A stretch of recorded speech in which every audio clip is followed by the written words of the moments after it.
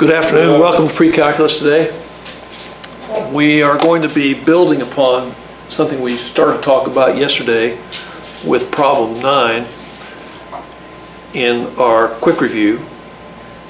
And solving this equation mentally, you came up with yesterday x equals negative three, x equals Negative six. 1.5, and Angel, as Angel just said, x equals negative 6. And these answers are certainly true enough, and that is definitely a correct answer. But I also introduced that there were a couple other things here. What else does x equal? negative six. Negative six. six. And x equals negative 6. And what we said, how did we articulate this? Multiplicity. Yeah, we say our zero is x, so zero, No. we said zero of, of whose value is six with multiplicity is equal to three. And we said that the reason that occurs is because this x plus six is actually x plus 6 three times.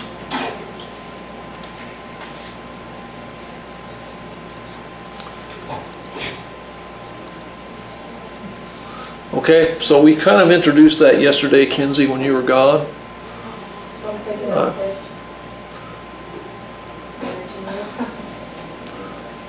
Yeah, good. Hannah came up and worked the problem on the video. That was really good. She did an amazing job did really good. And other people in the class did really great too. I don't want, I don't want to discount, I'm actually did really good without you here. I don't want to do any, uh, I don't want to diminish any contributions from the class.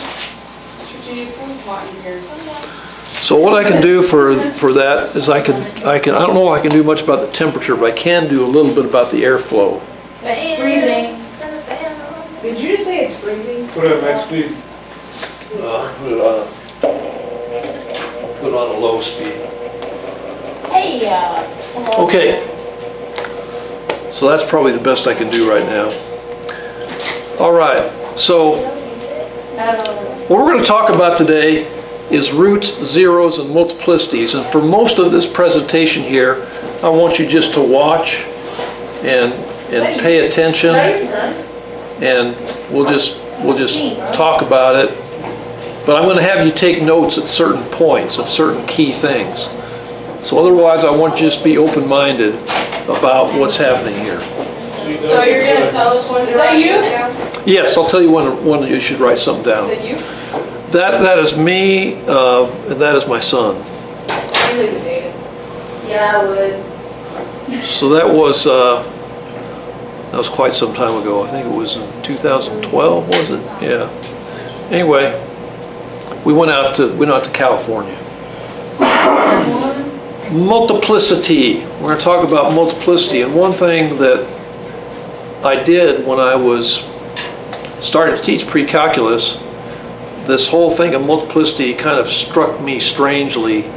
And so uh, some of you remembered what I did. I went into a Burger King, and what did I do?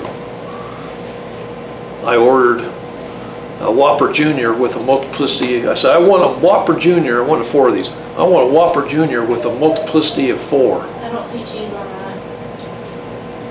No, I didn't want them with cheese. Okay, so that's that's the way I wanted them, Carmen. I didn't want them with cheese. But thanks for noticing.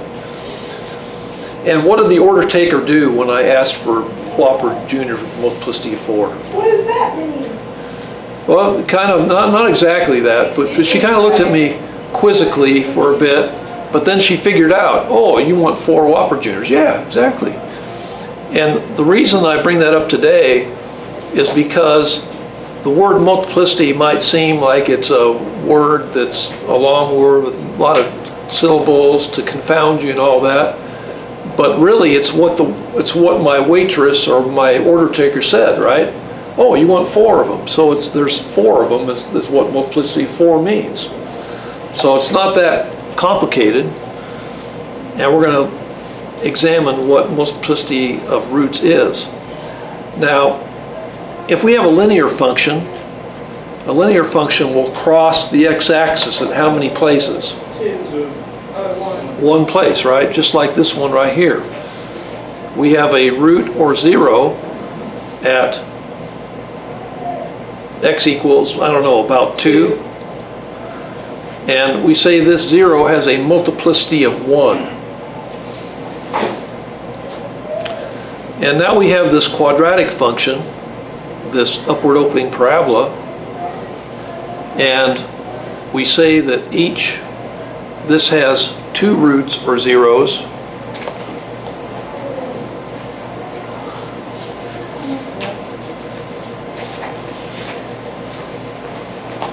we have two roots or zeros, and each of these roots or zeros has a multiplicity of 1. Okay? And if we take this function here, whose graph is represented by this parabola, and separate this graph into two factors, and factor, that's what we, one of the things we did yesterday, factor, uh, found, found the factors. We have the factors of x plus 8 and x plus 2, and write these as separate functions, and we graph these functions, where do the graphs of these functions cross the x-axis? on the intercepts. right here. So these are, the factors are going to be eh, quantity x plus 8, quantity x plus 2. As it turns out, the value of the zero is, zeros are related to these x-intercepts of negative 8 and negative 2. All right? Um, And so here's a big concept, and this is what I want you to write down, this thing right here. Big concept. I'm boxing in what I want you to write. The roots or zeros of a polynomial function. Kayla, you have your notebook? No, I was at home. I'll just watch the video off of it. Okay. Are composed of the roots and zeros of each linear factor of a quadratic function. And so that kind of ties into the reason behind the quick review exercise we did yesterday. Remember we said separate these polynomials into linear factors? That's what we're doing right here, linear factors. Okay?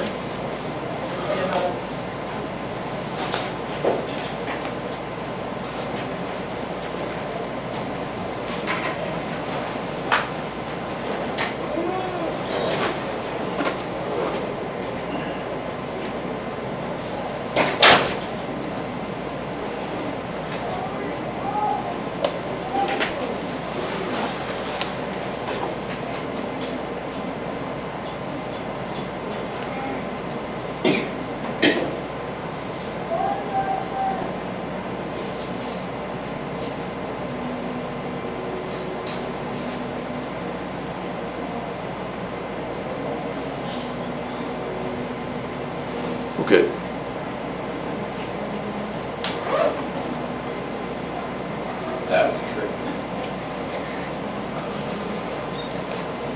Okay, if, uh, say each has a multiplicity of, each zeros has a multiplicity of one, and let's say we took that same function here, x squared plus 10x plus 16, and added 9 to this equation, what would, what would we get? Well, what we would get is x squared plus 10x plus 25. Now, can we find the factors of x squared plus 10x plus 25? What are the, what is this in factored form? x plus five. So Angel says that this is equivalent to quantity x plus 5 squared. Okay? In that, he is I think, 100% right. So we are, we're touching the x-axis. And how many x-intercepts do we have? We have one x-intercept. But, and that x-intercept occurs at negative 5, x equals negative 5. And as Angel did, we find the factors. We get quantity x plus 5 times quantity x plus 5. And what this represents is a double root or a double zero. And so what we say is that this root or zero of negative 5 has a multiplicity of Two. 2. So this is what a multiplicity of 2, 0 looks like. Comes down as a parabola, touches the x-axis, goes up the other way. Or could come up from the bottom and touch and go down. That's what it looks like. So um, there it is in factored form, as Angel said. So the, the basic way that we're going to talk about first, and we've already started talking about this, is how to find roots and their multiplicities graphically. And so basically, we're just going to look at a graph and just how does it look? What is it based on the evidence of what we see with our own eyes? So we take, uh, whenever the graph touches the x-axis, that point represents at least one root of a polynomial function. A curve or line that goes straight through the x-axis represents a root or zero with a multiplicity of one. In fact, I think that might be worthy of a note-taking aside.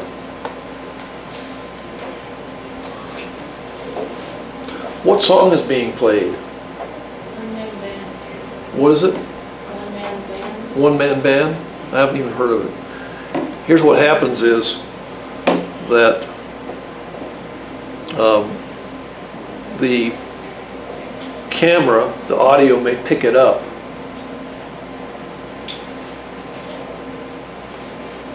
So, I'm getting video. So what would happen is that it could be the deal where it could be ad revenue for the writer of that song. Now, we're not talking about probably what's going to be a hugely popular, popular video, but still.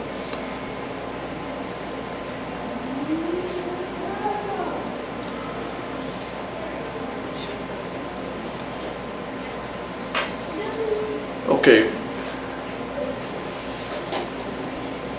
We ready to go on here?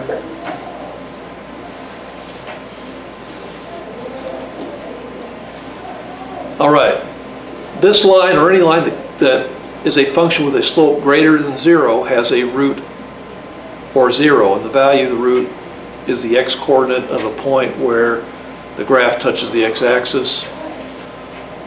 And the value of this root in this instance is negative six. Okay, let's go on here. And get one of these pins here. Okay, now this one here, we have a downward sloping parabola, and each zero or root has a multiplicity of one in this case. Now, now we have this, this function here, starts low, ends high, but we say that this function has three real roots or zeros, each with a multiplicity of one. Welcome to room 15 where learning comes first. Okay, good, I will tell her to visit.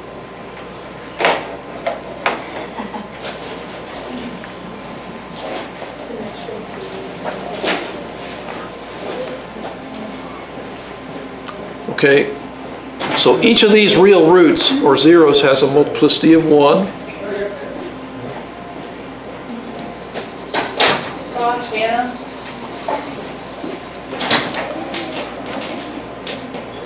And the value of these zeros are, in set notation, negative 3, comma, negative 1, and 1. And next, we have this W-shaped graph here. And how many real roots do we have here? We have four. And here, here it is with a, with a screenshot of a calculator view screen. And we see this function here and the shape of the function. And that's, that's what it looks like. Now, one thing I want to do is I want you to take notes here on this. The fundamental theorem of algebra.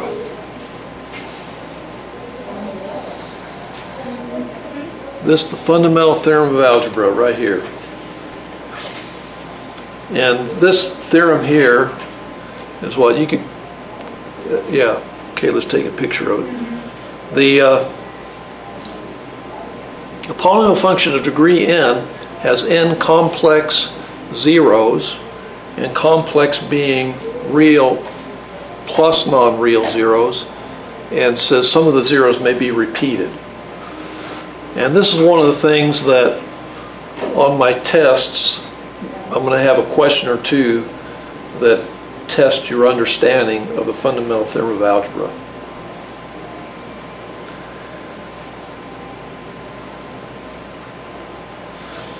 Usually when you talk about fundamental theorem of something, you think that that's the most important thing. I don't know that this is the most important thing about algebra, but that's what it's called.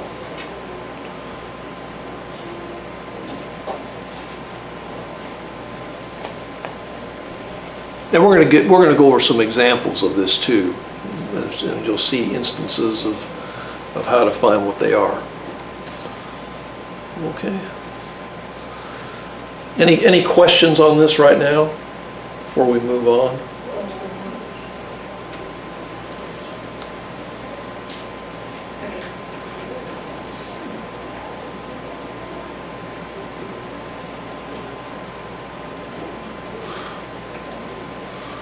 All right, yeah, fundamental theorem of algebra, we talked about that. And in this case, we had, we have this x to the fourth power, so it's a degree of four, and they're all real roots. Remember we talked at the beginning of this unit two, we talked about, we had those functions and said, is this a polynomial function or not a polynomial function? Remember that? That's what this is related to, it's partially why we're doing this now. And these are all real roots because we can see where they touch or cross the x-axis. And that's graphical evidence of it. 15 must be popular this afternoon. Okay, all right, I will send her.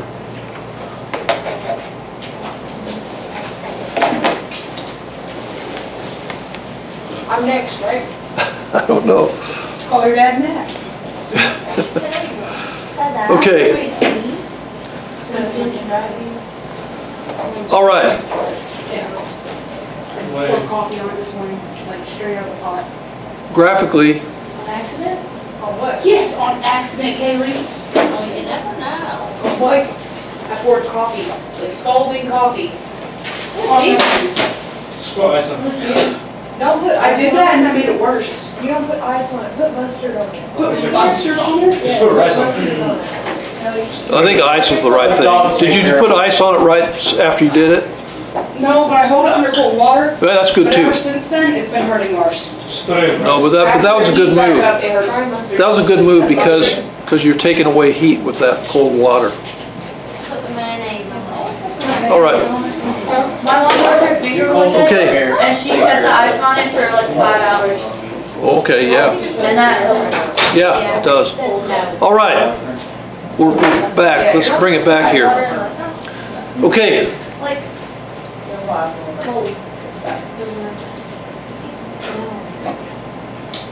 You know? Let's go. all right. Graphically, the curved polynomial function that touches the x at one point without crossing represents a double root or a root with a multiplicity of 2. So basically what it is, if you have a parabola, if what looks like a parabola, and you're pretty sure it's a parabola, that just touches the x-axis and bounces off, that represents a zero with a multiplicity of Two. 2. Okay? So graphically, looking at it, that's what it looks like. And here we have the value of this zero, in this case is 4, with a multiplicity of 2. And this will be a screenshot of a calculator view screen. And we can see, in this case, a double root at x equals 3. Now, do you see what this is here? You see our function, quantity x plus 3 squared? So that's what it looks like. Now, did you take a, did I have you take a note on that yet? That one. no, no. I want you to take a note on this one right here. The curve of a polynomial function that touches the x at one point What do you want to say? without crossing the x-axis represents a double root. Do you want to start that out? Yes, uh, this right here. And, and that's, I want you to write that statement there, but then I- after, I- after you write the statement, I'm gonna qualify that statement a little bit too.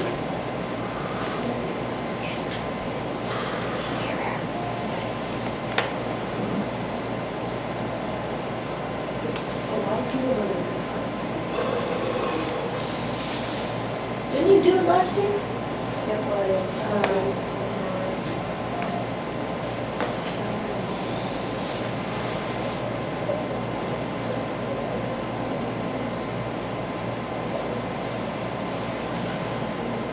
Does the, does the fan help out the air in the room a little That's a bit? lot better. it's breathing. Just moves the air. That's a little, feels a little cool to me too. This way. I notice the ones who feel better are the ones that are wearing sweatshirts.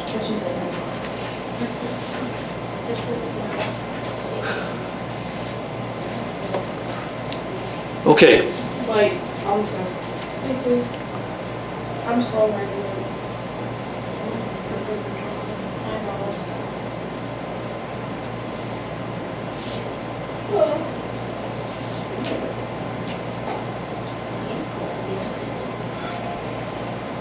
you feel a little, you're a little sleepy right now? Man, you guys are good because I'm always tired, so. Yeah. after, especially like after lunch and everything, yeah. How you guys get through afternoons sometimes, I don't know how you do it, but, I don't know how I you take a two hour nap every time I get home. oh, do you? It helps you get through the day, okay. Well, here, here we have this cubic function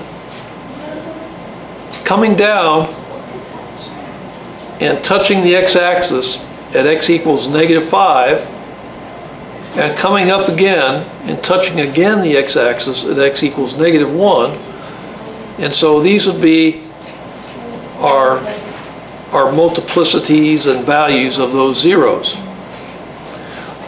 So I ask you, go ahead, what's your question? You have a question? Uh, the whole thing doesn't make a parabola, like, just one section has to make it correct and have the multiplicity of two. Okay, uh, what Emily's asking if he didn't, she said, even if the whole thing is not a parabola, it's, it's one section, and because it's part of the cubic function, we can't really call this exactly a parabola, can we? But it's very parabolish, isn't it, as it hits the x-axis right there.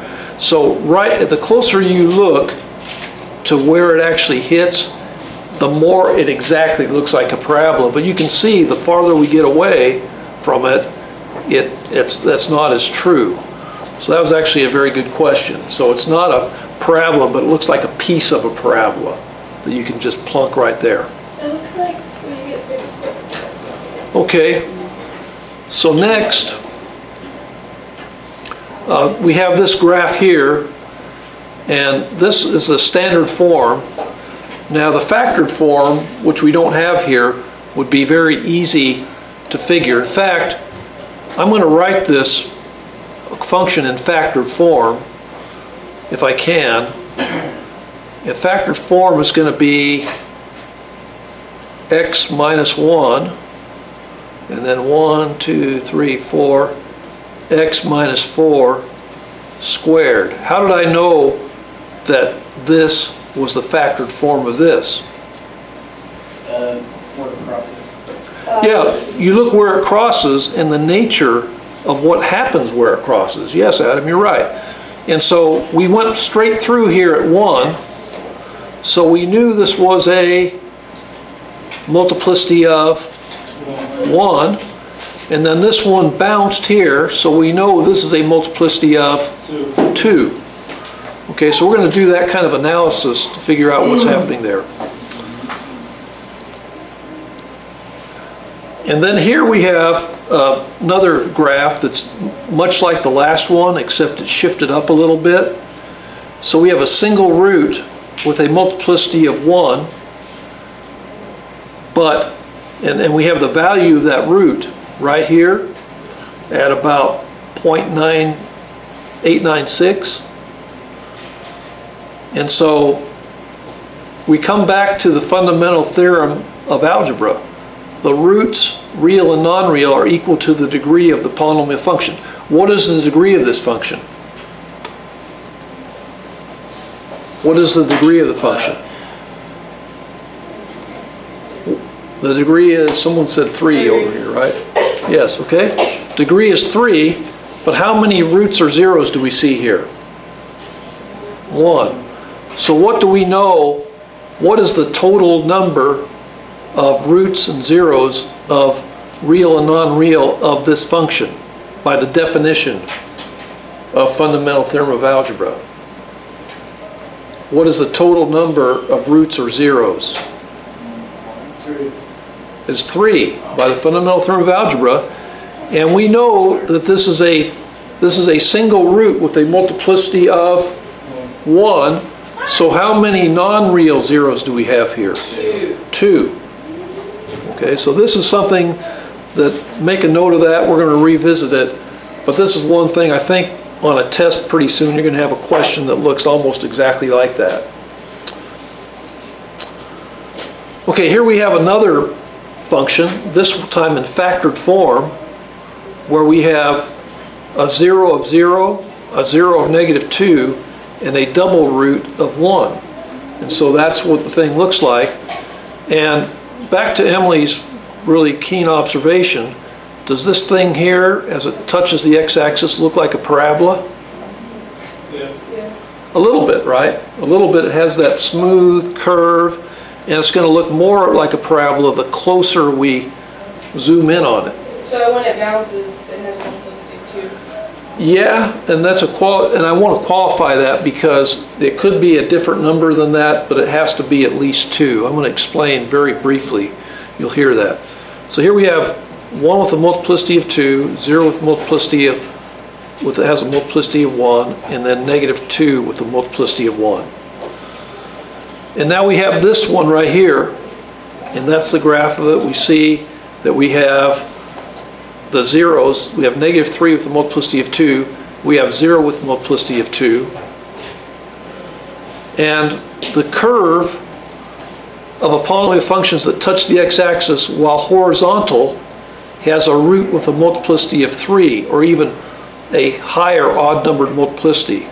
So if you graph the, the equation like y equals x cubed, what happens is the thing comes up here right to the x-axis, and then instead of instead of going down like a parabola would, the thing just kind of goes up just at an instant horizontal to the x-axis and then crosses.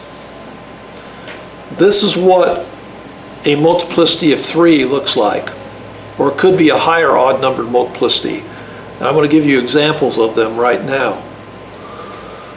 Uh, this is a third degree polynomial function right here.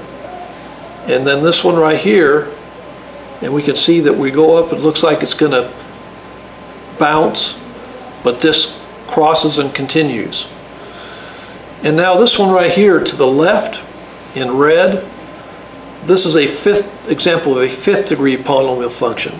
Does the thing also touch and cross? How does it look different though? Does it look any different? Okay, hold on that thought. I'm going to ask you another question again. So functions both horizontal and x-axis. And now to the right here, I bring in the graph of a seventh degree polynomial function that looks like this. So it's longer on the x-axis? Pardon me? Is it longer on the x-axis? Yeah, it, it seems to smash flatter against the x-axis. So that's how it is. But you can kind of see the evolution here, can't you? Third degree, and here it's, you can see the thing smashed a little bit, and now you can definitely see it to the seventh power. So that's just something to look out for. But usually, usually the, when you see the thing do this, this jiggle, usually it's going to be three unless you know that it's higher than that for some reason. And, uh, and here's an example of, of one with degree three. You have, you have a root equal to five multiplicity of one, and then we have the root uh, x equals three with multiplicity of three. That's what it looks like. And now what we have here is this one, quantity x plus 3 to the fourth power. Does this look like a parabola? Yeah. It does, but here we have x to the sixth. Does this look like a parabola? Does it look exactly like a parabola? No, it doesn't. And how does it, how's it different? Well, it's wider, but the thing, a parabola would look more like this, right? More of a smoother curve like this. It wouldn't be as cornery.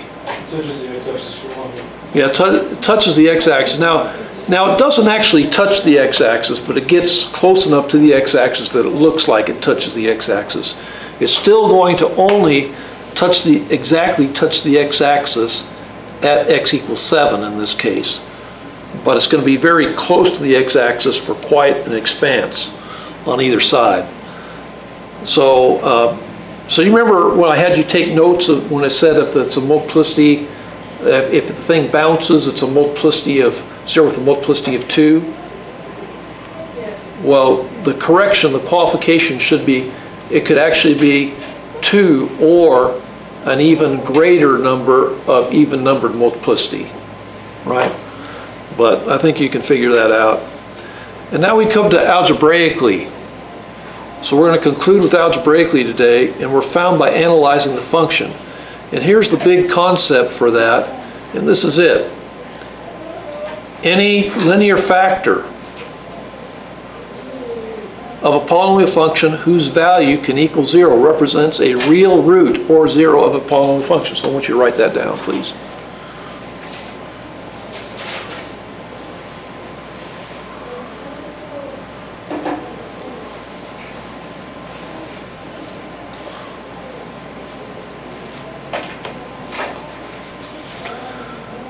And really, algebraically, at this point, this is where we're talking about problems 7 through 10 that we did yesterday. Remember, we, uh, we had to solve those equations mentally? This is what we're talking about right here. So basically learning the logic. Part, what'd you say? Basically learning the logic behind it. Yeah, that's right. Exactly right. We learned the logic behind it. So, Wait, wait, wait.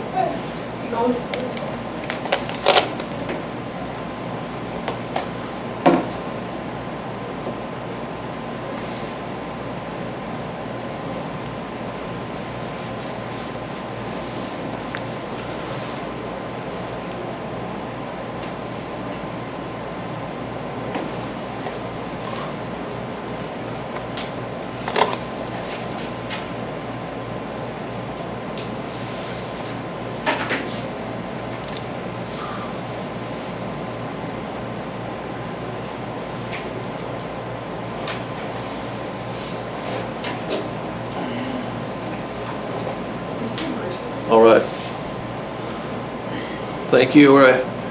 Now here, if we have this f of x equals quantity x plus x minus 1 times quantity x plus 5, how can we find the zeros of this function here? Make it equal zero. Yes, Angel said make this equal to 0. So we're going to use the zero factor property. And what is the zero factor property?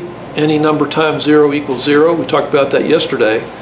And so as Angel says, we can take either factor and set those factors, both of them, in this case, equal to 0. So we have x equals 1 and then x equals negative 5.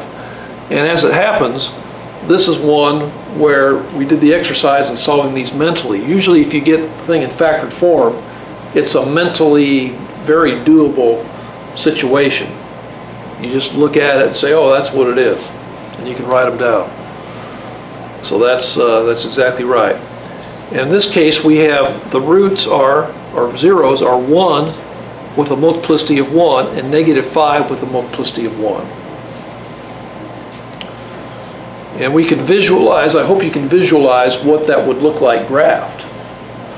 That you would have a, you'd have a 0, you'd have zeros at 1 and at negative 5.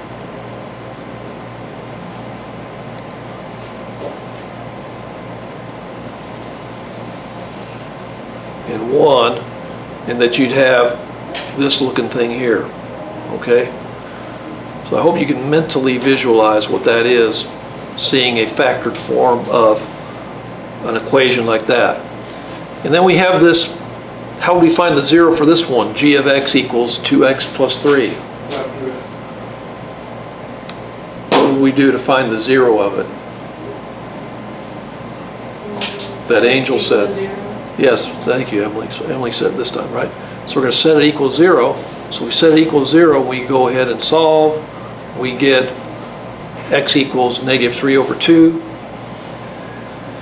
And the concept is, the the concept here is this. Here's another concept. Any polynomial function with a odd number degree will have at least one real root or zero.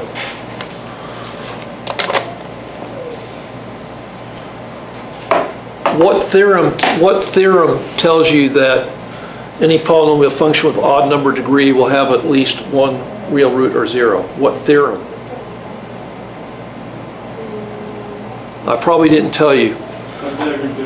No, no, I probably haven't told you yet. It's one we usually bring up in calculus, but it's actually in the pre-calculus book. It's called the intermediate value theorem. You see where it says odd, odd, right? At least one real zero, intermediate value theorem, at least one real ze- real zero, intermediate value theorem. So we gotta have if we have an odd degree function, we gotta have at least one real zero. Now, for an even number, for an even degree function, do we need to have a real zero? No, we don't. So, uh, yeah, we are, I think we're about to the end, and I'm gonna see where this thing takes us next, and we're just gonna call it. So, yeah, that's a good, good stopping point for us today. Thank you for for uh,